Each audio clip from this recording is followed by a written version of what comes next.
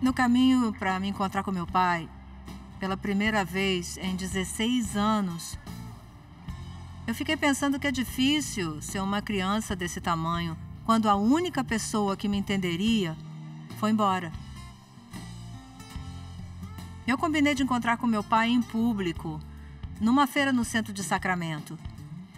Os momentos antes do encontro, antes de ver ele, foi totalmente totalmente desgastante.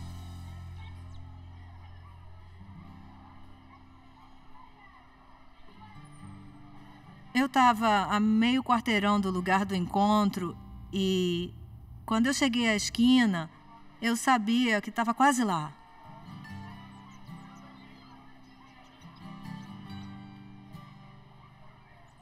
Eu só tinha que virar a esquina e eu estaria lá. Mas algo dentro de mim disse: você tem que seguir em frente. Não vira naquela esquina. E eu acho que a coisa mais corajosa que eu já fiz foi virar aquela esquina.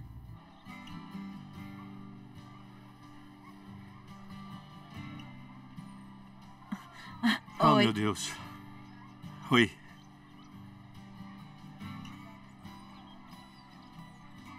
Há 16 anos te vi pela última vez.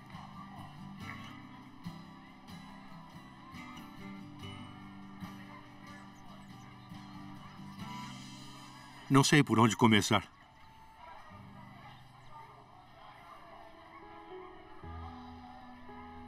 Acho que a minha mãe pensa que eu não estou pronta para encontrar o meu pai, porque ela não quer que a garotinha dela seja abandonada de novo. Ela não quer ver a pessoa que ela mais ama, a garotinha dela, ser machucada pelo homem que supostamente deveria me amar. Ela não queria que eu seguisse esse caminho autodestrutivo que ele me colocou. E você é tão bonita. Obrigada. Eu queria dar alguma coisa para enxugar seu rosto. Limpar minha cara. Seus olhos. Obrigada. Toda filha quer ouvir do pai que ela é bonita. Mas foi muito difícil porque eu achava que eu não me importava.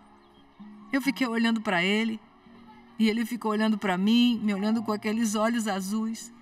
Eram os mesmos olhos que eu via quando eu era criança. E ver ele na cadeira de rodas me fez passar por várias emoções diferentes que eu nem esperava. Eu quero deixar algumas coisas claras. Eu não. Não quero fazer isso se você for me abandonar de novo. Não quero me decepcionar de novo. Eu só quero me reconectar com você se isso for realmente para valer mesmo.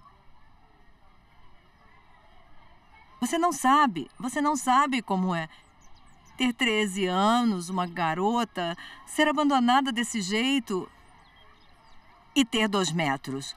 Não é que você tenha saído Eu da minha vida. Eu sinto muito que você tenha minha passado vida é tão por isso diferente. Sozinho.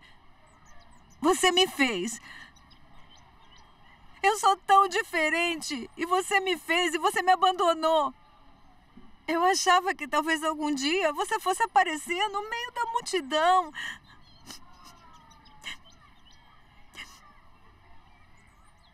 E nunca aconteceu. Você não me ajudou. Eu tive que enfrentar tudo isso sozinha.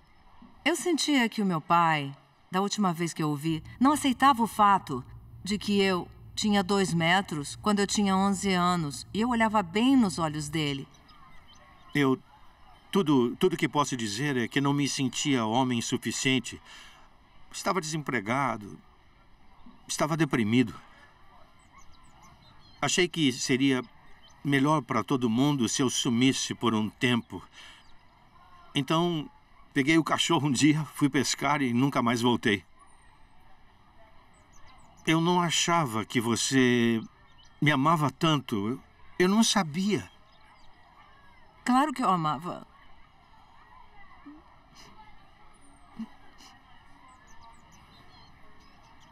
Eu prometo que eu não vou te abandonar de novo. É mesmo? É por isso que eu estou aqui. E. Eu sinto muito ter te decepcionado por todos esses anos.